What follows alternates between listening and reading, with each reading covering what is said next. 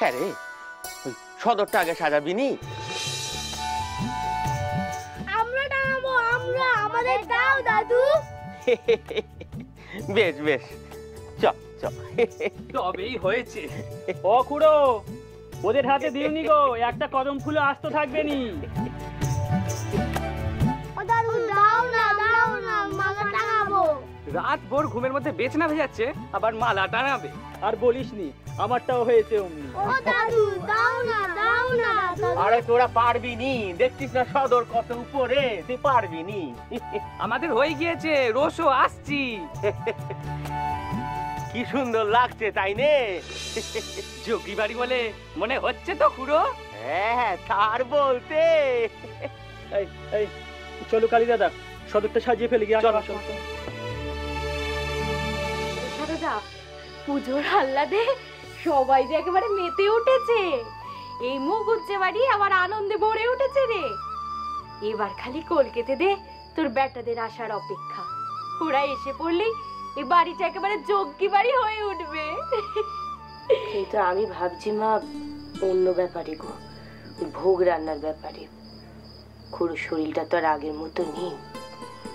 তাই ভাবছিলাম যে কালী বড়দার বউয়ের হাতে ওই পুজোর জোগাড় ব্যবস্থা দিয়ে আমি ভোগ রান্না করব। ওটি হবে নি গো, ওটি হবে নি। ওটি হবে নি মা, ওটি হবে নি। তোর এই খুড়োর এই বুড়ো হাতে এখনও যা শক্তি আছে, তাতে তিনশো লোকের ভোগ পাক আমি একা বানাতে পারি। ওই পাইকপাড়ায় রাজবাড়িতে যখন পাচকের কাজ করতুম, তখন নেত্য দোবেলা তিনশো লোকের রকমারি পদ এই এই লিনু মুখার্জি একার হাতে বানিয়েছে হ্যাঁ। তা তুমি করেছ খুড়ো তখন তোমার শরীর ভালো ছিল। এখন তোমার শরীর ভালো নেই তাই তুমি শিক্ষা ছেড়ে দিয়েছ। এখন আর তুমি পারবে না খুড়ো। একবার ভরসা করে দেখ না পারি কিনা দেখা দেখি তো কিছু নেই খুড়ো। রান্নার কাজ আমি করব। ওই ওই ওই দেখো ও বউটান তোমার মেয়েরে বলে দাও ওই কাজটি বরাবর আমি করি এবার তো আমারে করতেই হবে হ্যাঁ। না খুড়ো আমি করব। তুমি কেবল আমার হাতে হাতে সব জিনিসপত্র এগিয়ে দেবে। আমি করব তুই আমারে হাতে হাতে এগিয়ে দিবি হ্যাঁ। শুনলে তো মা? তোমার দেওর কিন্তু বুড়ো হয়েছে কিছু জেদ রয়েছে সেই আগের মতো। ওটি হবে নি খুড়ো। বউটান তোমার মেয়ে কিন্তু মেলা ব্যাটার মা হয়েছে। মায়েদের হাতে যে ঠিক না রান্না কিন্তু আমি করব হুম। ওরে থাম বাবা থাম তোরা। এই রেতের বেলা আর খুড়ো ভাইজি মিলে ঝগড়া করতে হবে নে। দুজনে একসাথে মিলে রান্না করবি পরিবেশনও করবি কেমন? বেশ বেশ খুড়ো। আমরা এই দুই মায়ের বেটায় মিলে একসঙ্গে ভোগ রান্না করব। হ্যাঁ। এই হলো কথার কথা।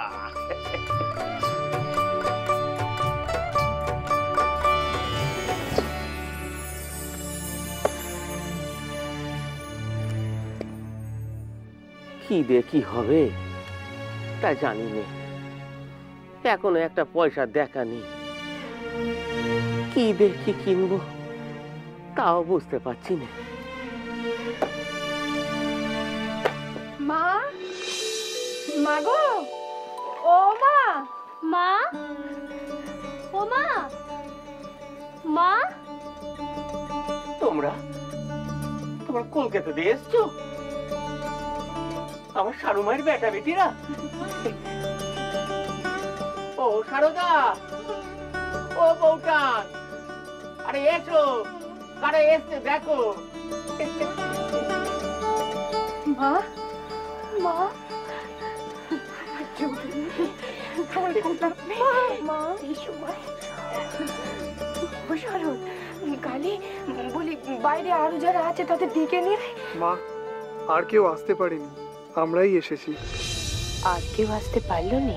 আপনি তো জানেন মা মঠে কত কাজ। ওমা ও খুড়ো এই দেখো এই হলো গিয়ে আমার বেটা বেটি। এ হলো আমার শরৎ বেটা আর ও আমার কালীকেষ্ট বেটা এই কালীকেষ্ট ওদের সাথে মোটে থাকে জানো? ওমা এই হলো আমার দুই মেয়ে আমার যোগী মেয়ে। আমার গোলাপ মেয়ে আর তোমরা সবাই দেখো এই হলো আমার ছোট খুড়ো। ও মা মা নিচে নেমে এসো না এসো।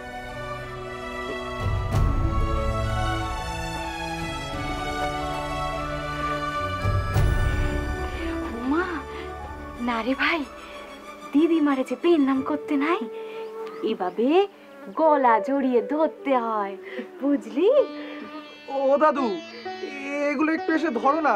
আর কতক্ষণ মাথায় ধরে রাখব? একটু ধরো এসে ধরো। ও বাবা ওর মধ্যে কি আছে রা? আপনার জগদ্ধাত্রী পুজোর সমস্ত সামগ্রী। এমনকি পুজোর ঘট পর্যন্ত নিয়ে এসেছি মা। মায়ের পুজোর সমস্ত দায় এই ছেলেদের। দাও বাবা। বাবা কি ভারী বুড়ো বয়সে তোমাকে আরও অনেক ভার বইতে হবে গো। এখন আমাদের সঙ্গে হাঁটে যাবে চলো। হাটে? হাটে যাবি কেন রে বাবা? বারে ওই ভোগের রান্নার সমস্ত জিনিসপত্র কিনতে হবে না? তাছাড়া ওই ফোড়নের ওই তেজপাতাটা পর্যন্ত কিনতে হবে। এই এই, চলো চলো আমার সময় নেই। একটু সবুর করো বাবা একটু সবুর করো। আমি বলছিলাম কি তোমরা হাটে যাবে কেন? তোমাদের মামারা আছে না? তারাই সব কিনে এনে দেবে তোমাদের। তোমরা এতটা পথে এছো ক্লান্ত হয়ে গেছো বাবা। একটু বিশ্রাম নাও। হোসারদা জানা মা তুই ওদের নে একটু ঘরে যা। মা জানেন আমাদের কাজই হচ্ছে আমাদের আরাম। ওদের বাধা দিও নি বা আমার বেটারা তা শুনবে নি। ও সারুমা তাহলে কি আমারে হাটে যেতেই হচ্ছে? তোমার আর পালাবার পথ নেই দাদু। চলো চলো চলো চলো চলো। চলো চলো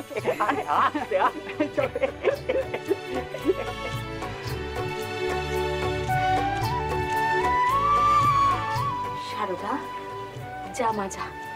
ওদের নে ঘরে যা। যাও মা যাও। এসো মা এসো। যাও ভাই।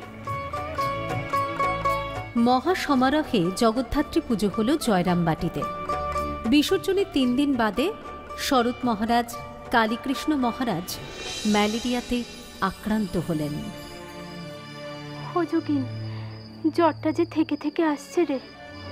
আমাদের জ্বর নিয়ে অত ভেবো না দিদি। ও ঠিক সেরে যাবে। মাঝে মাঝেই তো জ্বরটা ছাড়ছে। কোবড়ে জেলেন বড়ি দিয়ে গেলেন কিন্তু জ্বরটা কিছুতেই একেবারে সেরে উঠছে না রে। যতটুক ভোগান্তি আছে তা তো ভুগতেই হবে দিদি। ও ও, তুমি আর ভেবো না। হ্যাঁ দিদি। ও নিয়ে তোমরা এত ভেবো না।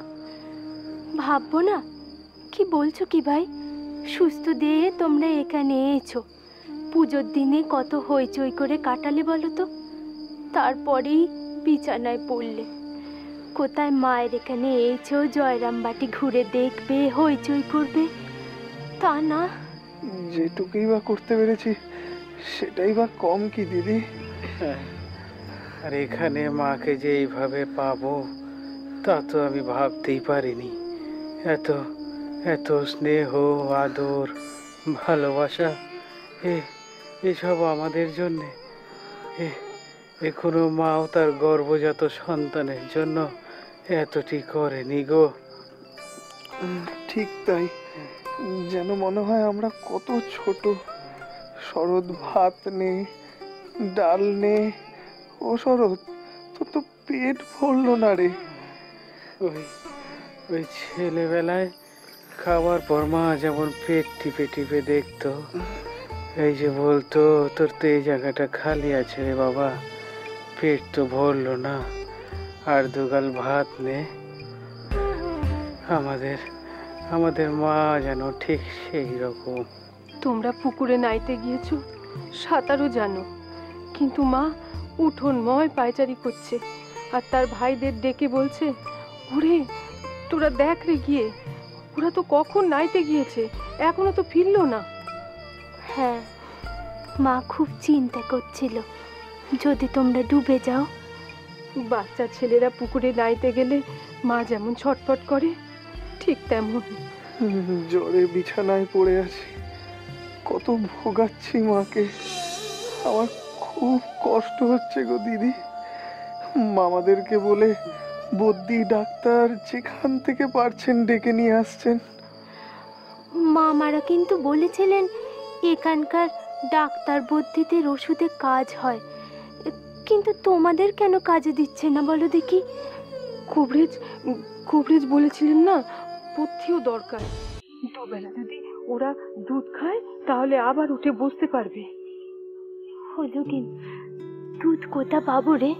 আসতে বলো দিদি। আসতে বলো। মায়ের কানে যেন ও কথা না যায়। বড় মামার বড় মামার গোয়ালে আমি গাই দেখেছি।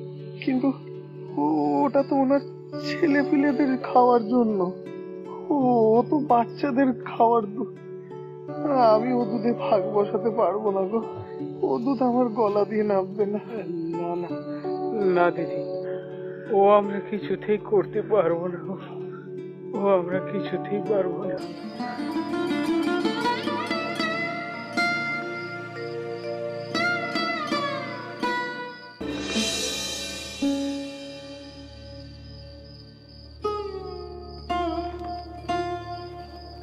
মা।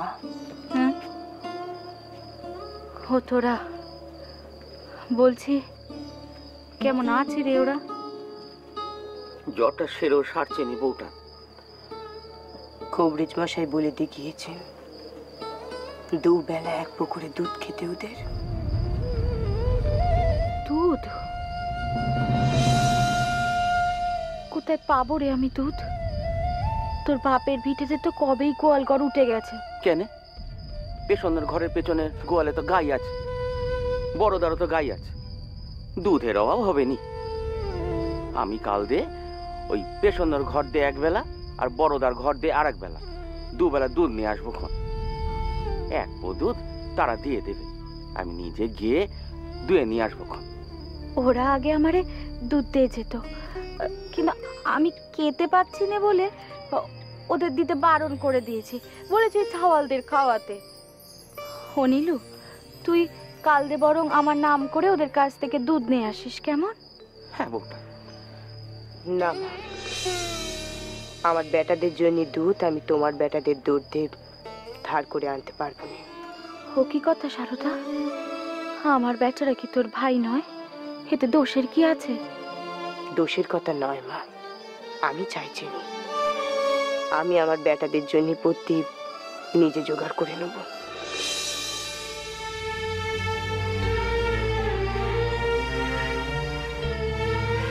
এই মেয়েটার যে কখন কি হয় কে জানে?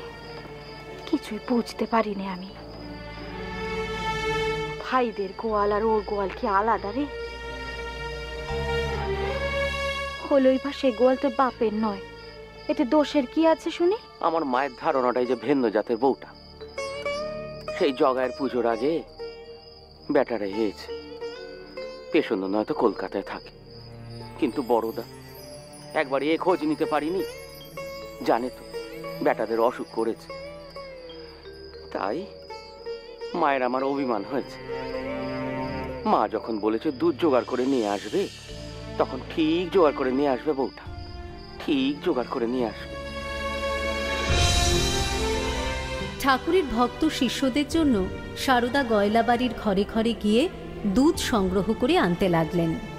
সারদার এই পথ্য সংগ্রহ করে আনবার কথা কানে গেল ভক্তদের।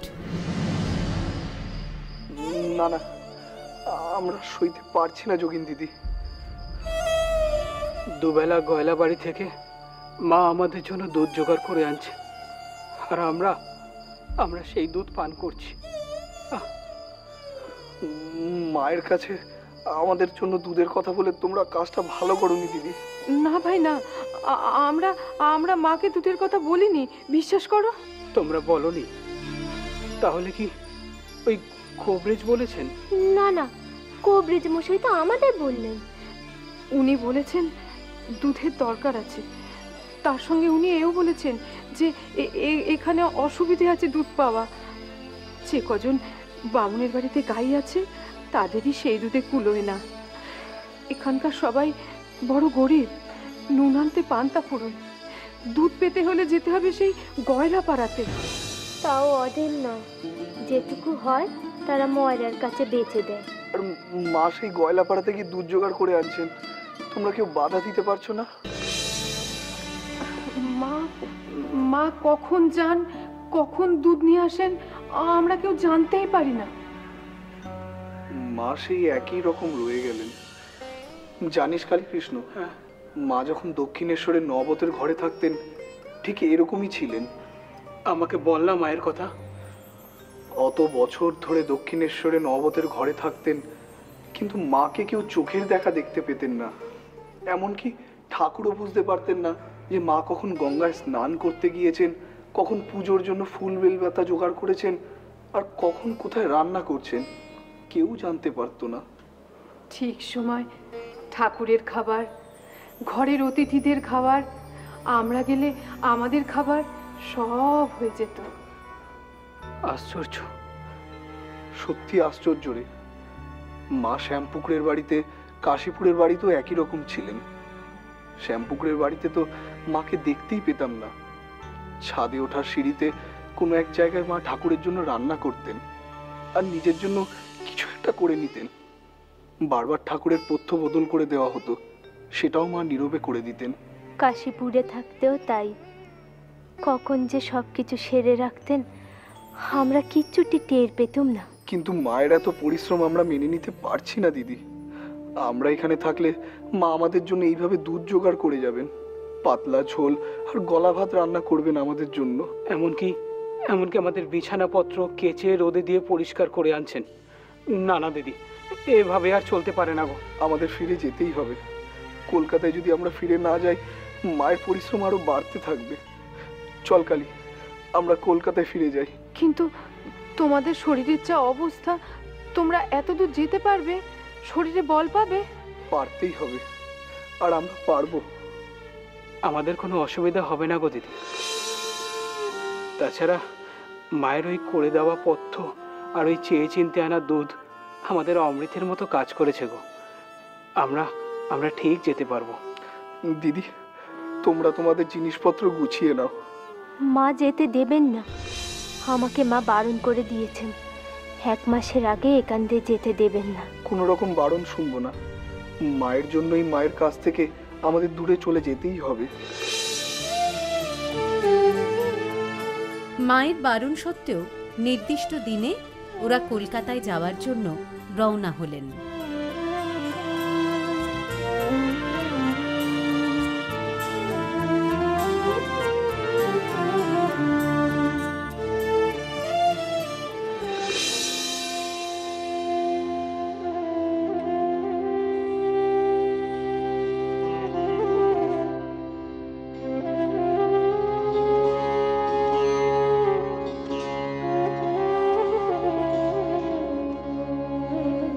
মঠে বসে মায়ের কথা অনেক শুনেছি।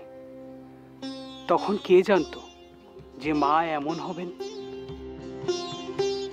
এমন করে মন প্রাণ দিয়ে আপন করে নেবেন। আমার বাড়িতেও মা আছেন। তাকেও আমি খুব ভালোবাসি। তিনিও আমাকে খুব ভালোবাসেন। কিন্তু কিন্তু জননী শারদামণি যেন জন্ম জন্মান্তরের চিরকালের মা। প্রণাম নেবেন। প্রণাম নেবেন জগৎ জননী মা শারদা প্রণাম নেবেন।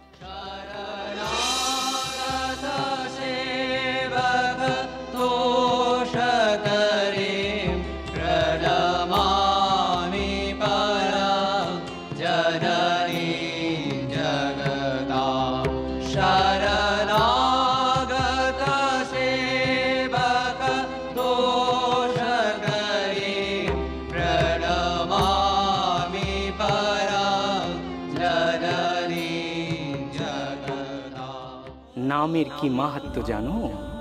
তাহলে একটা গপ্প বলি, শোনো।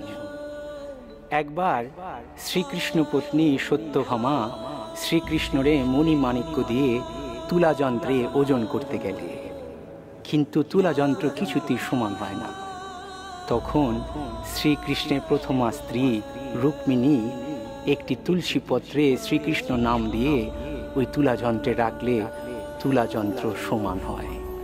এই হলো গিয়ে নামের মাহাত্ম নামের বিশেষ।